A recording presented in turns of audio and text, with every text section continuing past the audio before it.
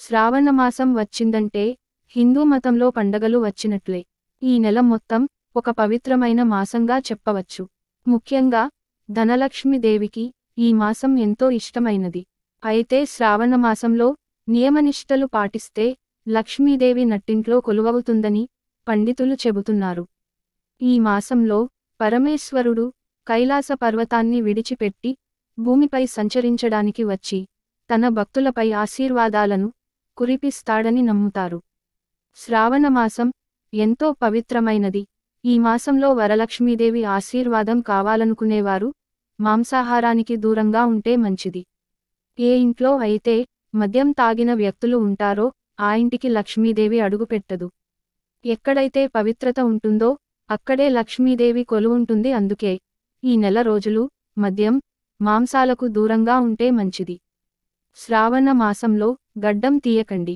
జుట్టు గోర్లు కత్తిరించవద్దు. ఆకుపచ్చ రంగు అంటే అమ్మవారికి ఎంతో ఇష్టం. శ్రావణ మాసంలో పచ్చని గాజులు వేసుకుంటే ఎంతో శుభప్రదం.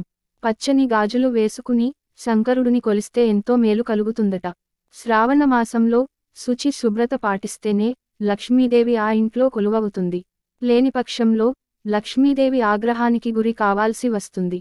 అందుకే శ్రావణ మాసంలో మీ ఇంట్లో దుమ్ము ధూళి లేకుండా శుభ్రంగా ఉంచుకోండి. శ్రావణ మాసంలో ఒక జత రాగి లేదా వెండి సర్ప విగ్రహాలను కొనుగోలు చేసి ఇంట్లో ఉంచడం చాలా శుభప్రదంగా భావిస్తారు. ఇంటి ప్రధాన ద్వారానికి వెండి సర్ప విగ్రహాన్ని ఉంచడం వల్ల అసంపూర్తిగా ఉన్న పనులన్నీ మళ్ళీ ప్రారంభమవుతాయి.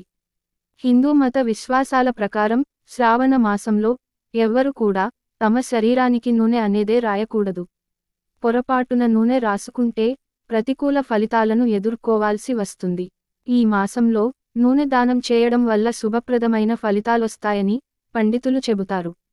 శాస్త్రం ప్రకారం శ్రావణ మాసంలో ఇంట్లో భస్మాన్ని ఉంచడం శివలింగంపై భస్మాన్ని సమర్పించడం ద్వారా శివుని అనుగ్రహాన్ని పొందేందుకు ఇది మీకు సహాయం చేస్తుంది. శివలింగానికి భస్మముతో అభిషేకం చేయడం ద్వారా కూడా మీరు శివుని అనుగ్రహాన్ని పొందవచ్చు. శ్రావణ మాసంలో రుద్రాక్షిని ఇంటికి తీసుకురావడం వల్ల జీవితంలో సానుకూల శక్తి పెరుగుతుందని నమ్మకం. శ్రావణ మాసంలో తెల్లవారుజామున స్నానమాచరించి శుభ్రమైన వస్త్రాలు ధరించి ప్రతిరోజూ శివునికి అర్ఘ్యం సమర్పించండి. శ్రావణ మాసంలో దానధర్మాలకు ఎంతో ప్రాశస్త్యం ఉంది. ముఖ్యంగా పేద మహిళలకు వస్త్రదానం చేస్తే శ్రావణ మాసంలో లక్ష్మీదేవి ఆశీస్సులు కలుగుతాయి. అలాగే కన్నె పిల్లలను ఇంటికి ఆహ్వానించి వారికి భోజనం పెట్టడం ద్వారా శుభం జరుగుతుంది. శ్రావణ మాసంలో పెరుగు మజ్జిగ పచ్చి ఆకుకూరలు బెండకాయలు ముల్లంగి ఉల్లి వెల్లుల్లి మొదలైన వాటికి దూరంగా ఉండాలి. ఈ పదార్థాలను తినడం వలన మనస్సు చెదిరిపోతుంది పూజలో ఏకాగ్రత లోపిస్తుందని పురాణాల్లో పేర్కొన్నారు. శ్రావణ మాసంలో మీ మనస్సును స్వచ్ఛంగా ఉంచుకోవడానికి మీ వంతు ప్రయత్నం చేయండి. మీ మనస్సులో చెడు లేదా ప్రతికూల ఆలోచనలను తీసుకురావద్దు. లేదంటే శివుడికి కోపం రావచ్చు. ఈ వీడియో మీకు నచ్చితే లైక్ చేసి సబ్స్క్రైబ్ చేయండి.